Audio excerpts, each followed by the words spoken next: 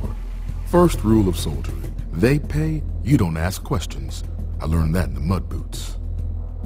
Funny how things go. Thought I'd be in the army my whole life. Woke up one morning, a hangover from hell. Dragged myself over the hill to latrine, stayed there, seemed like days. No idea my unit was being attacked. Time I got back, wasn't no unit left. So I hooked up with the mud boots, badass soldiers for the highest bidder. Thought I'd be with them forever too. Till one day we're fighting this necromancer guild.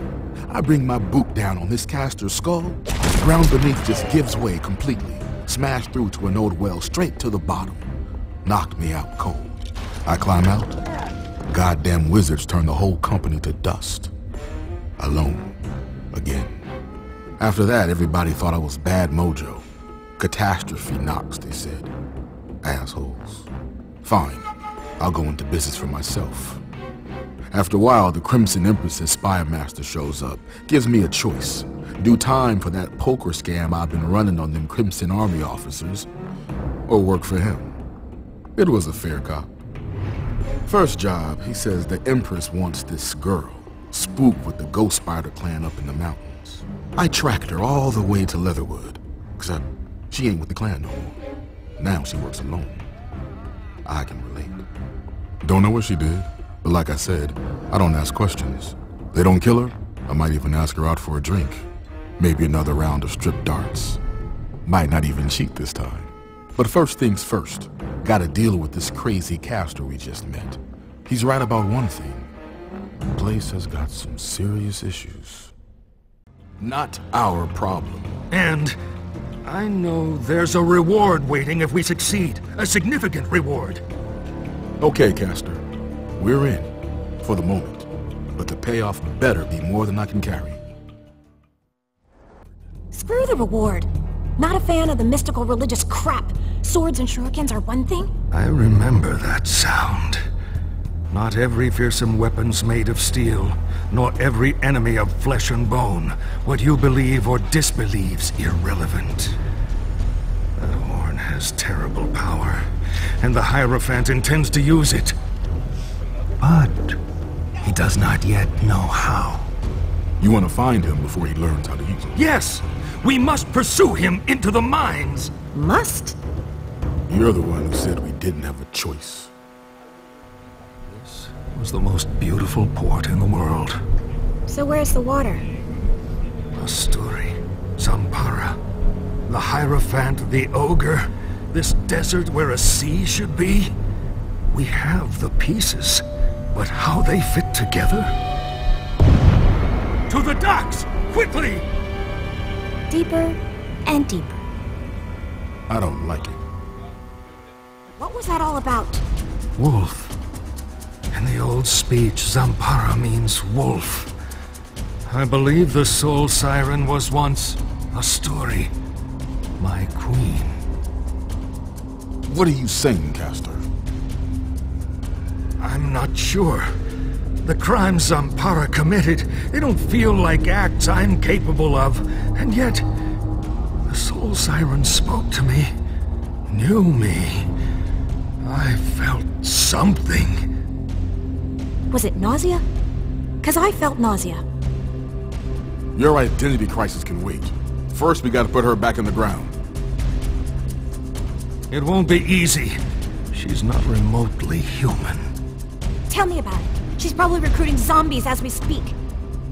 I don't care if she's got a goddamn undead army. Everything dies, one way or another.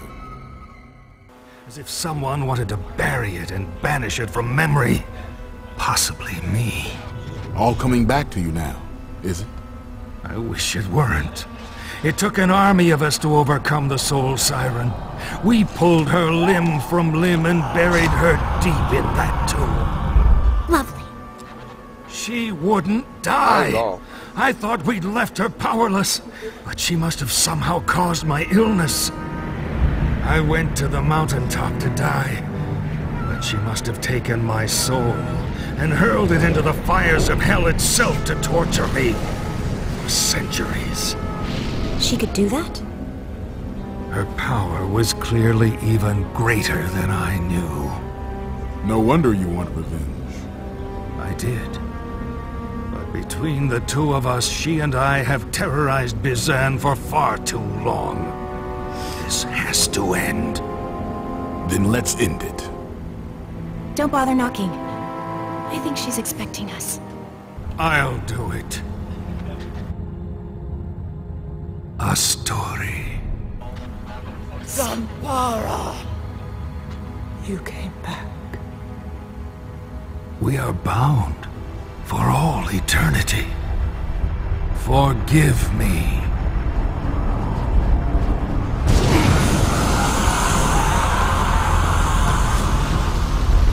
We gotta get out of here. The place is coming down. So shut up and run! Think she's really gone? Seems like it. Of course, I've known enough casters not to take that shit at face value.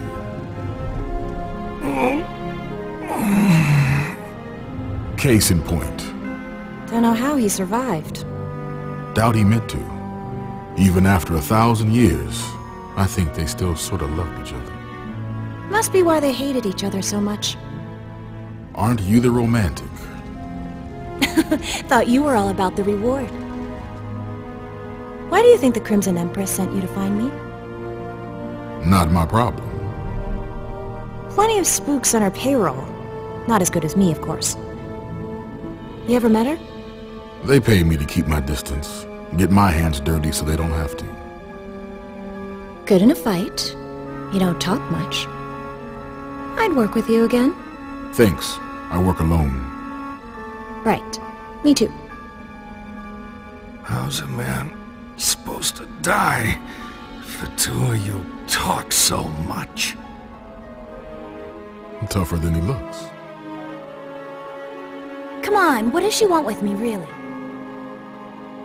We get there, Spooky? You can ask her yourself.